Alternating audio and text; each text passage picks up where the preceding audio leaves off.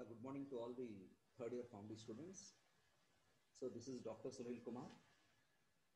So I was discussing about chemotherapy. So before your, your mid exams, and uh, I have completed I have completed sulfonamides. Okay, and after sulfonamides, let's uh, uh, discuss a combination of uh, uh, sulfonamide and uh, dihydrofolate reductase inhibitor. Okay, that is a very very important drug uh, that was used earlier in many uh, uh, type of infections. So individually, this individual drugs in the combination is bacteriostatic, uh, but when both the drugs are combined, the combination becomes bactericidal. Okay, so this combination is none other than cotrimoxazole. Okay, let's discuss about cotrimoxazole. Okay, cotrimoxazole is a combination of two drugs. One is a sulfonamide, which is called as sulfamethoxazole, and another drug is called as trimethoprim, which is a dihydrofolate reductase inhibitor. Okay, so that uh, uh, I would like to discuss. So this is also a guarantee question in examination. Definitely they may ask uh, either in 5 marks or 10 marks. Definitely you will get this question. Okay, regarding cotrimoxazole. Okay, let me share a screen here.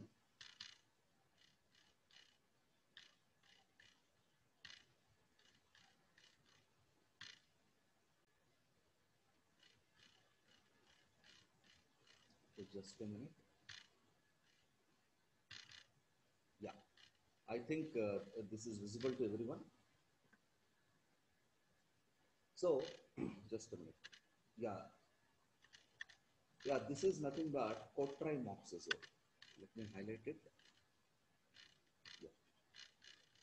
So this is what we are going to discuss today. That is cotrimoxazole. Okay. So let me also tell you, students, don't confuse. The, uh, uh, uh, uh, I mean to say that there are two drugs which will appear similar, quite similar, but they are totally different. There is another drug which is called as antifungal drug, that is clotrimazole. Clotrimazole. It is an antifungal drug. It is not a clotrimazole. It is cotrimoxazole. It is cotrimoxazole. Okay. So, as I told you that cotrimoxazole, it is a fixed dose combination of two drugs. One is trimethoprim and sulfamethoxazole. Okay, you can see here. The fixed dose combination of trimethoprim and sulfamethoxazole is called as cotrimoxazole. Okay, and what is the ratio of this combination? That is also very important. You should know. So it is this cotrimoxazole, it is a mixture of five parts of sulfamethoxazole with one part of trimethoprim. Okay.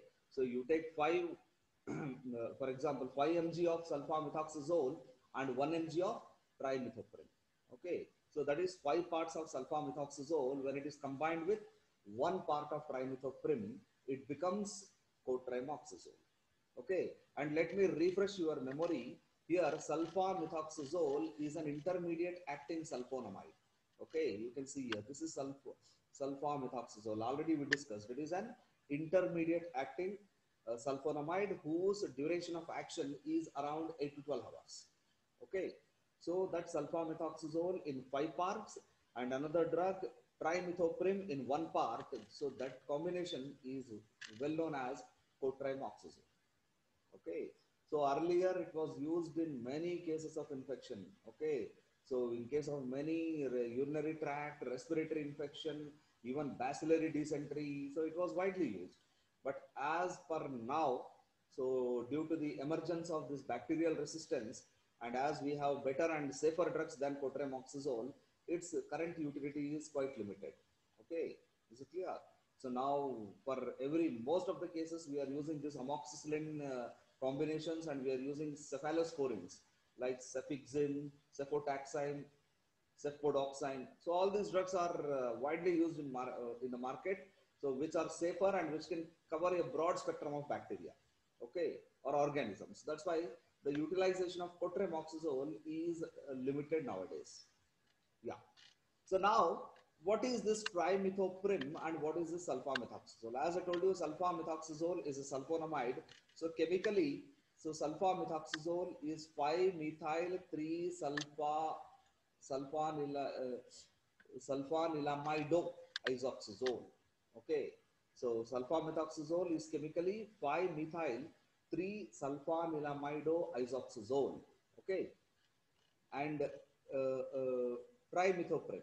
Trimethoprim is a diaminopyrimidine. It is an diaminopyrimidine. I don't want to go into structure. So trimethoprim is a diaminopyrimidine. It is a pyrimidine analog which contains two amino groups. Okay. And here it is chemically related to an anti-malarial drug which is known as pyrimethamine. So it is chemically related to anti uh, uh, drug which is called as pyrimethamine. Okay, we just observe the basic ring of uh, uh, uh, trimethoprim. Its basic ring is similar to pyrimethamine. Pyri, this is T. Pyrimethamine. Methamine. Okay. Yeah. So diaminopyridine, py, pyrimidine. So the, the, the, chem, the chemically trimethoprim, it is called as diaminopyrimidine and which is uh, chemically related, related to an anti-malarial drug and the name of that anti-malarial drug is pyrimethamine. Pyrimethamine. And here it is not quite visible. Let me uh, tell you here. So here it is uh, uh here trimethoprim which selectively inhibits uh, dihydrofolate reductase, which selectively inhibit an enzyme that is called as DHFR, that is dihydrofolate reductase. I will come to that when I discuss the mechanism. Okay, so trimethoprim is an diaminopyrimidine uh, chemically, and it is structurally related to an anti-malarial drug. The name of the anti-malarial drug is pyrimethamine. Okay, and here so what uh, trimethoprim is going to do, it is its major mechanism of action. It is going to inhibit an enzyme that is called as dihydrofolate reductase. That is called as DHFR, dihydrofolate reductase. Okay. Yeah. now, sulfa, uh, sulfamethoxazole, it's known to you. Sulfamethoxazole is going to inhibit folate synthetase. Sulfamethoxazole like uh, uh, sulfonamides, what it will do, the same thing sulfo, uh, sulfamethoxazole will do, it is going to inhibit this enzyme, folate synthetase. Am I right? And it is going to prevent the conversion of PABA to dihydrofolic acid. Got it? Yeah, so it's simple. So sulfamethoxazole is an inhibitor of folate synthetase and trimethoprim, which is a new combination, which is a new addition to sulfamethoxazole, and that combination becomes cotrimoxazole, and sulfa uh, trimethoprim is a potent inhibitor of dihydrofolate reductase enzyme. And what is the role of dihydrofolate reductase enzyme? I will discuss it when I discuss mechanism of action. Okay. So now what is the, uh, now coming to uh, mechanism of action. Okay, well, how the drug is going to uh, uh, uh, affect the microorganisms. So let me tell you, here you can just observe both the drugs act synergistically by blockade of two enzymes that catalyze successive steps in the biosynthesis of folic acid in the microorganism. So two enzymes are involved in the biosynthesis of folic acid. Two enzymes will successively catalyze the biosynthesis of folic acid. Let me show that particular uh, uh, uh, flow chart where you can understand how two enzymes are catalyzing the synthesis of folic acid, you please observe here the same thing what I have shown in sulfonamide, the same thing I would like to show here. So first, as I told you, PABA is going to be converted into DHFA, dihydrofolic acid with the help of folate synthetase. Okay. And here comes the another story. Dihydrofolic acid is converted into tetrahydrofolic acid with the help of another enzyme that is called dihydrofolate reductase, which I have mentioned as DHFR. DHFR. Okay, is it clear? DHFR. So now the mechanism is simple. Sulfonamides, what they will do, they will block only folate synthetase. They will block only folate synthetase. And sometimes what happens, bacteria may develop resistance to uh, uh, uh, sulfonamides and they synthesize dihydrofolic acid by other mechanisms. Please try to understand. So PABA is converted into dihydrofolic acid and further it is converted into tetrahydrofolic acid and tetrahydrofolic acid is essential for the synthesis of thymidylate, purine, uh, protein or DNA. Okay. And if you want to inhibit a bacteria, you block the conversion of PABA to dihydrofolic acid. Further dihydrofolic acid is not converted into tetrahydrofolic acid and there is no synthesis of DNA. That is what we discussed in sulfonamides. But here what happens as a part of bacterial resistance, so some bacteria, if they develop resistance to sulfonamides, one of the way of resistant, developing resistance to sulfonamide is synthesizing dihydrofolic acid by other, uh, by other means. Okay, suppose if, uh, if a microorganism develops resistance to sulfonamides and if it converts PABA to dihydrofolic acid, please try to understand okay it, it remains ineffective sulfonamide because sulfon because there may be an altered uh, uh, binding site on the enzyme.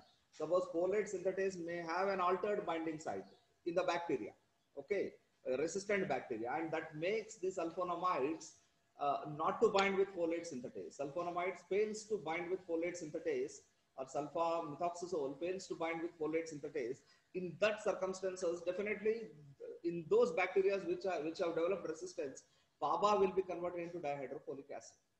Then, even though PABA is converted into dihydrofolic acid, what is going to happen here is, so if PABA is converted into dihydrofolic acid, further dihydrofolic acid is converted into tetrahydrofolic acid, which is very, very essential for the synthesis of DNA or thymidylate. This conversion is blocked by trimethoprim by inhibiting the enzyme dihydrofolate reductase. Okay, so this dual inhibition, this dual inhibition by this combination, that is sulfa, sulfamethoxazole block this folate synthetase and trimethoprim blocks the dihydrofolate reductase, prevents the conversion of PABA to DHFA and also DHFA to THFA. Okay, even if some bacteria gains resistance and if it converts PABA to DHFA, then this final conversion from DHFA to THFA, it is completely inhibited by dihydrofolate reductase. So that's why there is no chance or there is less chance of PABA getting converted into trihydrofolic acid. You are not giving uh, any chance, very little chance because you, you are, uh, the combination of two drugs will blocks the conversion at two successive steps. Okay, that's why the formation of tetrahydrofolic acid becomes very, very less. Okay, least chances of formation of tetrahydrofolic acid. So then definitely there is a very, very strong action. And as I told you, individually, these two drugs, they are bacteriostatic. Okay.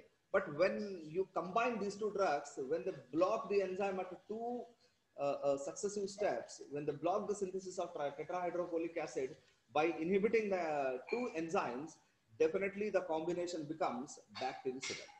Okay, so here I have depicted clearly. So you can see here, the synergistic mechanism usually results in bactericidal activity at concentrations at v, which individual components are only bacteriostatic. Okay, please try to understand. Okay, so individually, if you take the drug, they will act on, uh, uh, uh, I mean to say that they, they, they are bacteriostatic. Okay, because this will work on one enzyme and this will work on another enzyme at different uh, time intervals. Okay, is it clear? So when you take individually, you will take at different time intervals. That's why either you are blocking DHFR or either you are blocking uh, uh, you are blocking DHFR with trimethoprim or you are blocking uh, folate synthetase with your sulfamethoxazole. Individually, they will block only one enzyme at different intervals.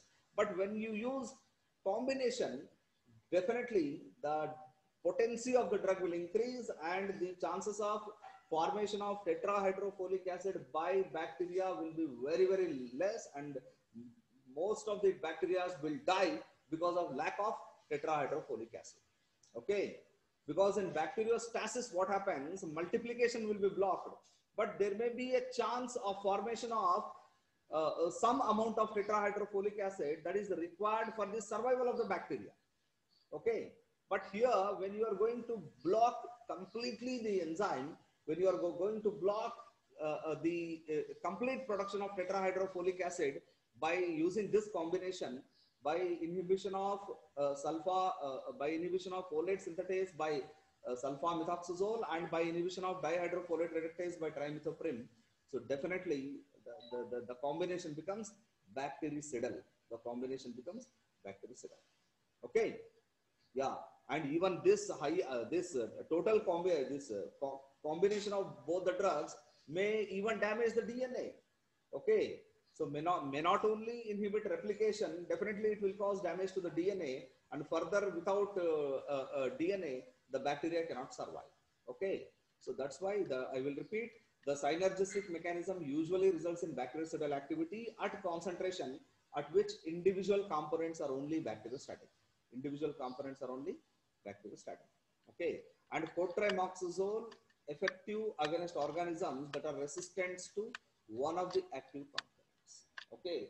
If you use combination if you use uh, sorry if you use individual drugs definitely so individual uh, the bacteria will gain quick resistance to uh, individual drugs. Okay. But when you use combination there is a dual mechanism of action.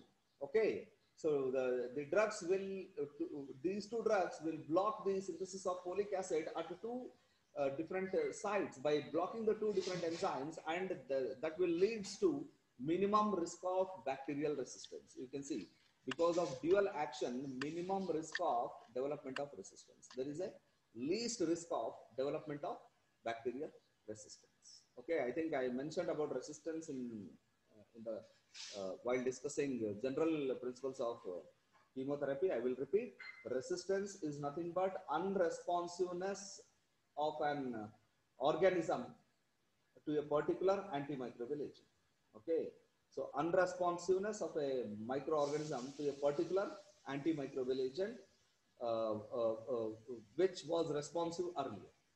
that is especially, I'm talking about acquired resistance. Okay. So an antibiotic, a bacteria which is used to be sensitive to a particular antibiotic or antimicrobial agent, which is used to be inhibited or killed by a particular antimicrobial agent, now the bacteria becomes totally resistant. The bacteria will not respond to that particular antimicrobial agent. Okay, the antimicrobial agent fails to inhibit or kill that microorganism at that particular concentration uh, after using uh, uh, uh, for a specific period. So that is what we call it as drug resistance or bacterial resistance. So here, when this combination is used, when this combination is going to show effective action by inhibiting both the enzymes and by preventing the formation of tetrahydrofolic acid, definitely there is a minimum risk of bacterial resistance. Okay. So that is the thing. And coming to spectrum of activity, and here you can also see here, trimethoprim is 50,000 times uh, less efficient in inhibition of mammalian DHFR RAs. Okay, this is the point you should note. So even in our cells, there is DHFR, that is dihydrofolate reductase. Okay. So majority of the folic acid we are, we are getting through diet. But in our cells also, there is a synthesis of folic acid to a certain extent, to a small extent by dihydrofolate uh, uh, reductase. Okay. And you may, we may ask a question that why, why uh, uh, why it can't be possible that at, at these bactericidal combination, uh, at concentration of both the drugs in combination, does it causes dam does it inhibits dihydrofolate reductase even in human cells or mammalian cells? No, because dihydrofolate reductase enzyme in bacteria is entirely different from mammalian or human cell dihydrofolate reductase. Okay, so that's why here trimethoprim, which is a potent inhibitor of dihydrofolate reductase, it is having 50,000 times more affinity for bacterial dihydrofolate reductase rather than human dihydrofolate reductase. Got it? Okay, trimethoprim is about 50,000 times less efficient in, in, in inhibition of mammalian or human cell DHFR. Okay, so in comparison to bacterial DHFR. Am I right? So if 50,000 bacterial DHFR are inhibited, one, uh, uh, uh, one DHFR is inhibited in human cell. So such a least affinity and that least affinity will be, uh, uh, I mean to say that uh, that will,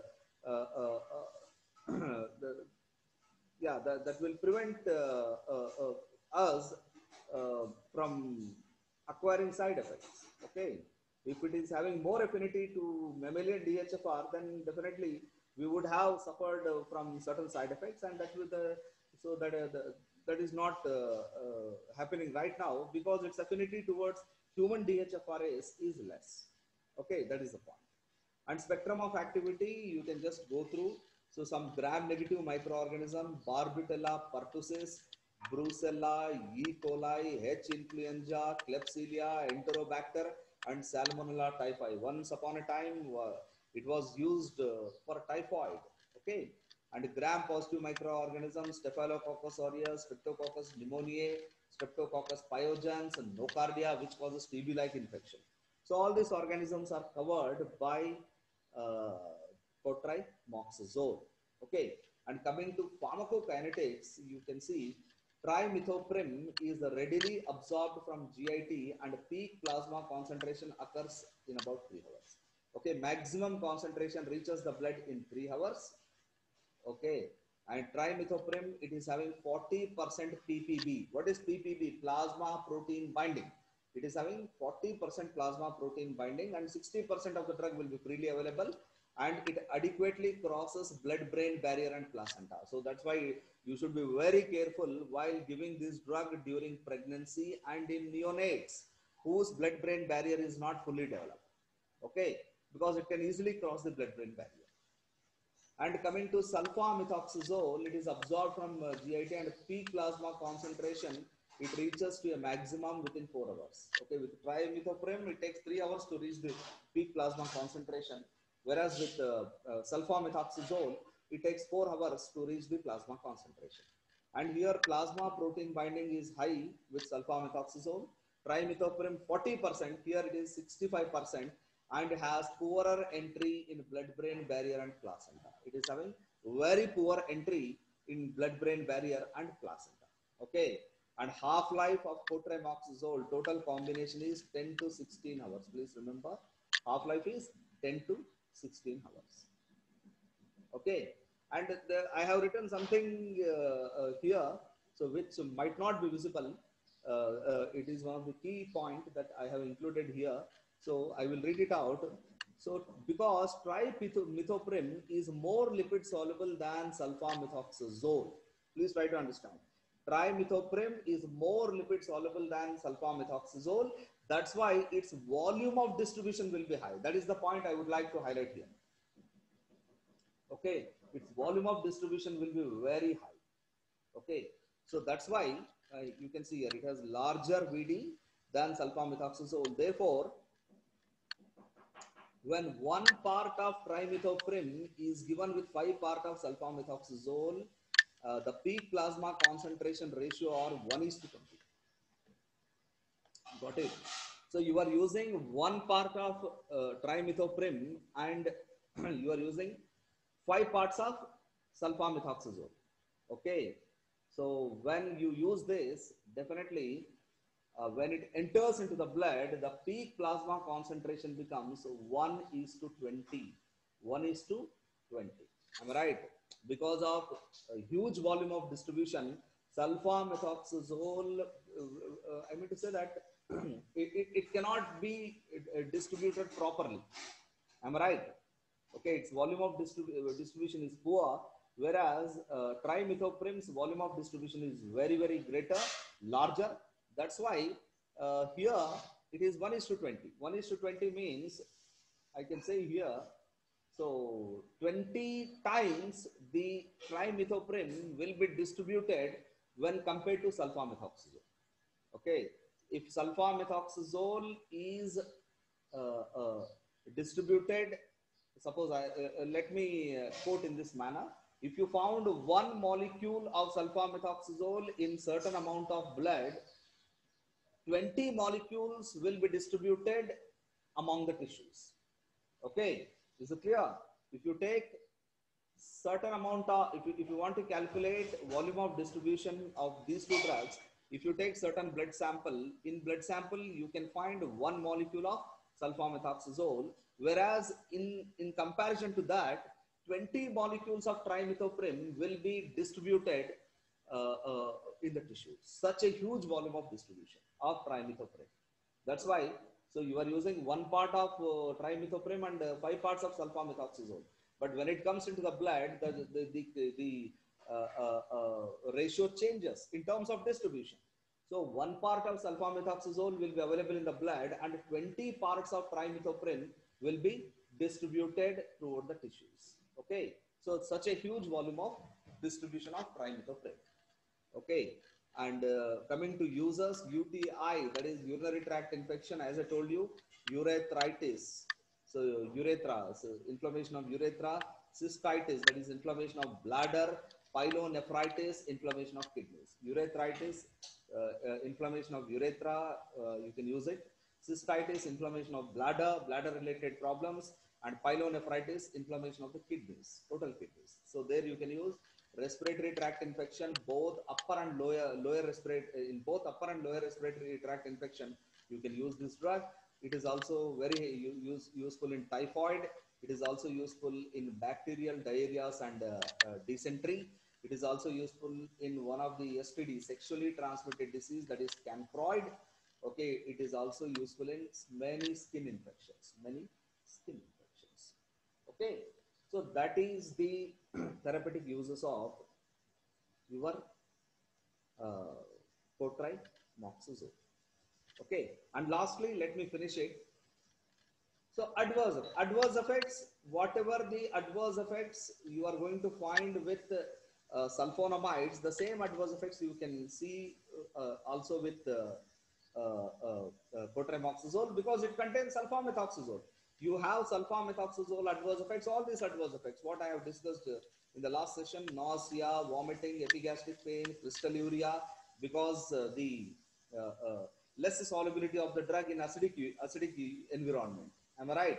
So the, drug becomes crystalline when it comes uh, to the urine. If the environment of the urine is acidic, so definitely it gets uh, converted into crystals. Okay, that's why precipitation of crystals in the uh, urine. Am I right? So that's why you have to alkalinize the urine or you have to drink large amount of water. Okay. So that is one thing. Hypersensitivity reaction, as I was I was discussing, I have discussed rashes, urticaria. You have Stevens Johnson syndrome, exfoliative dermatitis, where the skin will peel off, and drug fever, febrile reaction to a therapeutic agent. Okay, and also photosensitization, hepatitis, contact sensitization, hemolysis, kernicterus, etc. So all these adverse effects you can also include in cotrimoxazole. Along with that, you have certain adverse effects like nausea, vomiting, stomatitis. Stomatitis means it is not related to stomach. Don't confuse. It is inflammation of the oral mucosa. Okay, oral mucosa. You will have ulcers on the oral mucosa inside on the lips. So this is stoma, stomatitis. So that is what we call it as stomatitis, headache and rashes, folate deficiency. You know that. In higher cases, it may also inhibit folic acid synthesis at very high doses in human beings or in mammalian cells and that will also leads to folate deficiency on long-term use. And you know that folic acid is also very very useful in the synthesis of what? Rbc so deficiency of folic acid by this combination on prolonged usage will result in megaloblastic anemia. Okay that might result in megaloblastic anemia Okay, and blood related abnormalities will be there. As I told you, due to deficiency of folic acid synthesis, RBC count will decrease. Uh, so that is called blood dyscrasias, this abnormality in blood elements. Okay, and trimethoprim, as I told you, teratogenic. It is uh, very, very risky in pregnancy. Okay, so it should be avoided in pregnancy because it causes neonatal hemolysis and methemoglobinemia. Methemoglobinemia. So methemoglobinemia is a condition in which the hemoglobin which is in ferrous form, it will be converted into ferric form. Okay. As we discussed while discussing uh, iron, uh, uh, the absorption of iron, I clearly told you that iron will be utilized in ferrous form inside the RBC or erythrocyte precursor and that ferric, ferrous form of iron Fe2 plus will be utilized for the synthesis of hemoglobin. Okay. But here, what will happen is most of the hemoglobin will be converted into ferric form and it will not be allowed to convert it into ferrous form. That process is called as methemoglobin. Okay, met, there is a formation of methemoglobin. Means you have a hemoglobin in which the iron is not present in ferrous form. It is present in ferric form. Okay, so you have hemoglobin, which, which generally we write it as HB, where the iron is in Fe2 plus, Fe2 plus. That is called ferrous form. Okay, so which can carry oxygen. But here I will write it as met HB, met hemoglobin, M-E-T-H-B. So where the iron in hemoglobin, this met hemoglobin will be in ferric form, Fe plus 3. Fe plus 3. So uh, can we expect uh, hemoglobin in which iron, uh, if it is in ferric form, Fe3 plus, does it carry oxygen? No, it doesn't carry oxygen. So that's why there is a problem with uh, oxygen carrying capacity of the hemoglobin. Hemoglobin fails to carry oxygen. Okay. So I will stop now. We will continue our discussion in the next session. Okay. So students, you please go through this video and in case of any doubt, any confusion, you can ask in between the video or at the end of the video. Okay. So thank you. Thank you very much.